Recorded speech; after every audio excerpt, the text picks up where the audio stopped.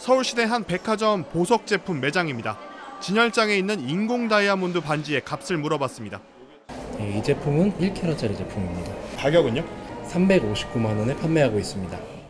같은 크기의 천연 다이아몬드가 1,500만 원 넘는 걸 감안하면 20% 가격입니다. 광산에서 캐낸 원석을 가공한 게 아니라 연구실에서 키워낸 lab grown 다이아몬드입니다.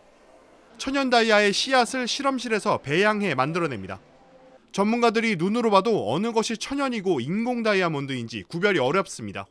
특수 장비를 사용해야 알 수 있습니다. 경도라든가 또 광학적인 효과라든가 또 뭐 굴절률 등등 물리적 광학적 특성이 동일하고요. 다만 사람이 만들었을 뿐이라는 것이죠. 천연 다이아몬드하고 똑같다고 보시면 되겠습니다. 한국도 미국과 인도, 중국 등과 함께 랩그로운 다이아몬드를 생산할 수 있는 8개 나라 중 하나입니다.